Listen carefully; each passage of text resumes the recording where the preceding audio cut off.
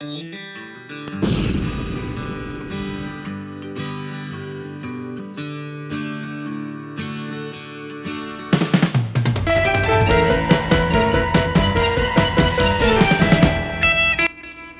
ഞാൻ മുരിങ്ങയ്ക്ക വെച്ചിട്ടുള്ള ഒരു വിഭവമാണ് ഉണ്ടാക്കുന്നത്. മുരിങ്ങയ്ക്കയും മുട്ടയും കൂടെ ചേർത്തിട്ട് ഒരു പൊരിയലാണ് ഉണ്ടാക്കാൻ പോകുന്നത്. പൊതുവെ കുട്ടികൾക്കൊക്കെ മുരിങ്ങ കഴിക്കാനായിട്ട് കുറച്ച് മടിയുള്ള കുട്ടികളുണ്ട്. അവർക്കൊക്കെ ഇങ്ങനെ ചെയ്ത് കൊടുത്തു കഴിഞ്ഞാൽ കഴിക്കും. കാരണം മുട്ടയും ഇട്ട് ചിക്കി പൊരിക്കുമ്പോഴേക്കും അതിനൊരു പ്രത്യേക ടേസ്റ്റാണ്. അപ്പോൾ ഇതിന് ആവശ്യമുള്ള സാധനങ്ങൾ ഇതൊക്കെയാണ്. ഞാനിവിടെ നാല് മുരിങ്ങയ്ക്ക എടുത്തിട്ടുണ്ട്. പിന്നെ കുറച്ച് ചെറിയ ഉള്ളി കറിവേപ്പില ഒരു മുട്ട തേങ്ങ. തേങ്ങ ഒരു കുറച്ച് മതി. ഒരു രണ്ട് ടേബിൾ സ്പൂൺ തേങ്ങാപ്പീര മതി. അപ്പോൾ ഇത്രയും സാധനങ്ങളാണ് ഇതിനാവശ്യം. ഇപ്പോൾ ഇത് തയ്യാറാക്കുന്നതിന് മുരിങ്ങയ്ക്ക നമുക്ക് ആദ്യം ഇതുപോലെ കുറച്ച് വലിയ പീസസ് ആയിട്ട് കട്ട് ചെയ്യണം. ഇതുപോലെ കുറച്ച് വലിയ പീസസ് ആയിട്ട് കട്ട് ചെയ്തിട്ട് നമ്മൾ ആവി വരുന്ന അപ്പച്ചെമ്പിൽ വെച്ചിട്ട് വേവിച്ചെടുക്കുകയാണ് ചെയ്യുന്നത്. നമ്മൾ ഈ കഷ്ണങ്ങളാക്കിയ മുരിങ്ങയ്ക്ക ഇതുപോലെ ആവി വരുന്ന അപ്പച്ചെമ്പിൽ വെച്ചിട്ട് വേവിക്കണം.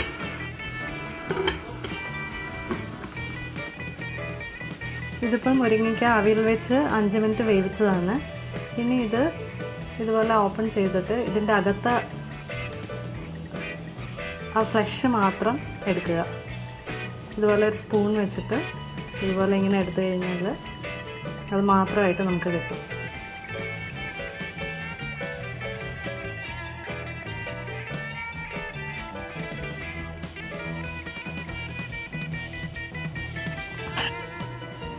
ഇതിപ്പോൾ ഞാൻ ആ മുരിങ്ങയ്ക്കയുടെ അകത്ത ഭാഗം മാത്രം എടുത്ത് വെച്ചിട്ടുണ്ട്. ഇനി നമുക്ക് ഒരു പാത്രം അടുപ്പിൽ വെച്ചിട്ട് അതിലേക്ക് ഈ പാത്രം ചൂടായിട്ടുണ്ട്. ഇനി അതിലേക്ക് നമുക്ക് വെളിച്ചെണ്ണ ഒഴിച്ചു കൊടുക്കാം.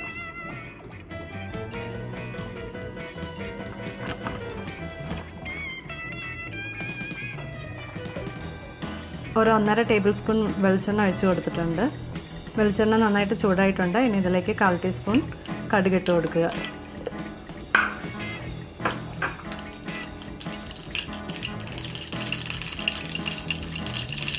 കടുക് പൊട്ടിത്തുടങ്ങി ഇനിയിപ്പോൾ അരഞ്ഞു വെച്ചിരിക്കുന്ന ചെറിയ ഉള്ളി ചേർത്ത് കൊടുക്കുക. ഉള്ളി ചേർത്ത് കഴിഞ്ഞാൽ നമുക്ക് ആവശ്യത്തിന് ഉപ്പിട്ട് കൊടുക്കാം. ഉപ്പിടുന്നത് ഉള്ളി പെട്ടെന്ന് വഴന്ന് വരാനായിട്ട് ഹെൽപ്പ് ചെയ്യും. ഇതൊന്ന് നന്നായി വഴന്ന് കഴിയുമ്പോഴേക്കും നമുക്ക് കറിവേപ്പില ഇട്ട് കൊടുക്കാം. ഇതൊരു തണ്ട് കറിവേപ്പിലയാണ്. അതും ഇട്ട് നന്നായിട്ട് വഴറ്റുക. ഇത് ശരിക്കും പറഞ്ഞാൽ ലഞ്ച് ബോക്സിലൊക്കെ കൊണ്ടുപോകാനായിട്ട് പറ്റിയൊരു റെസിപ്പിയാണ് എന്താണെന്ന് വെച്ചാൽ മുരിങ്ങയ്ക്ക അല്ലാതെ കറി വയ്ക്കുമ്പോഴത്തേക്കും അത് ചീമ്പുന്നതൊക്കെ പ്രശ്നമാവാറുണ്ട്. ഇതാകുമ്പോഴത്തേക്കും അതിന്റെ അകത്തെ കാമ്പ് മാത്രം എടുത്തിട്ട് ചെയ്യുന്നത് കാരണം നമുക്ക് കുട്ടികൾക്കാണെങ്കിലും ലഞ്ച് ബോക്സിൽ കൊടുത്തു വിടാം ഓഫീസിൽ പോകുന്നവർക്കും എല്ലാം ഇതൊരു ഹെൽപ്ഫുള്ളാണ് ഈ ഒരു റെസിപ്പി ഇപ്പോൾ ഉള്ളി വഴന്നിട്ടുണ്ട്. ഇനി ഇതിലേക്ക് നമുക്ക് ഒരു കാൽ ടീസ്പൂൺ മഞ്ഞൾപ്പൊടി ചേർത്ത് ചേർക്കാം.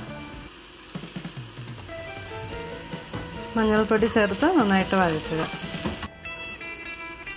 ഇത് വഴന്ന സമയത്ത് ഞാൻ ഇതൊരു മൂന്ന് ടേബിൾ സ്പൂൺ തേങ്ങാപ്പീര എടുത്തിട്ടുണ്ട്. അതിലേക്ക് ഒരു നാല് ചെറിയ പച്ചമുളക്. ഇത് ചേർത്തിട്ട് ഒന്ന് മിക്സിയിൽ നന്നായിട്ട് ക്രഷ് ചെയ്തെടുക്കുക. ഇതിപ്പോൾ ഉള്ളി നന്നായിട്ട് മുരിഞ്ഞ് ബ്രൗൺ കളർ ആയിട്ടുണ്ട് അപ്പോഴേക്കും നമുക്ക് മുളകും തേങ്ങാപ്പീരയും കൂടെ ക്രഷ് ചെയ്ത് വെച്ചത് ആഡ് ചെയ്ത് കൊടുക്കാം.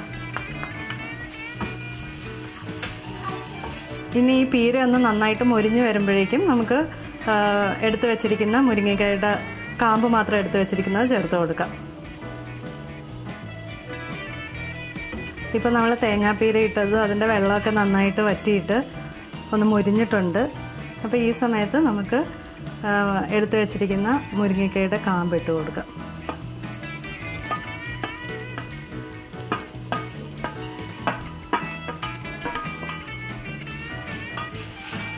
എന്നിട്ട് ഇത് നന്നായിട്ട് ഇളക്കി യോജിപ്പിക്കണം.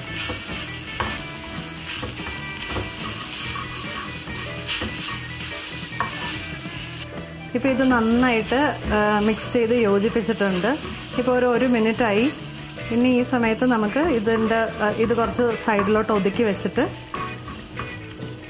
നടുവിലായിട്ട് കുറച്ച് എണ്ണ ഒഴിച്ചു കൊടുക്കാം. ഇതിന് ഞാൻ വെളിച്ചെണ്ണയാണ് യൂസ് ചെയ്യുന്നത്. കുറച്ച് എണ്ണ ഒഴിച്ചു കൊടുത്തു.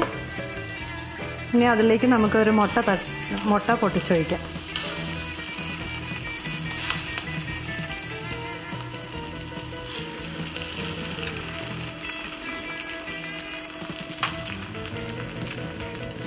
അതിനുശേഷം ഇത് നന്നായിട്ട് ഇളക്കി യോജിപ്പിക്കണം.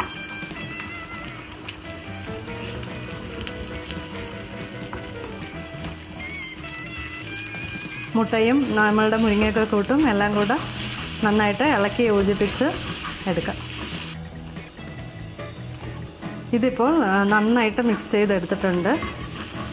മുട്ടയെല്ലാം നന്നായിട്ട് ആ മുരിങ്ങയ്ക്കയുമായിട്ട് നന്നായിട്ട് യോജിച്ചിട്ടുണ്ട്.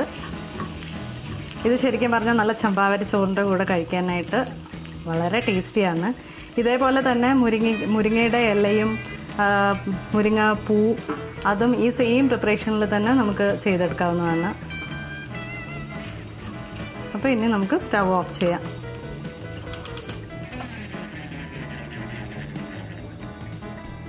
കാർബോഹൈഡ്രേറ്റ് ഒക്കെ കുറച്ചിട്ട് ഡയറ്റ് കൺട്രോൾ ചെയ്യുന്ന ആൾക്കാർക്ക് കഴിക്കാൻ പറ്റിയ ഒരു വിഭവമാണ്.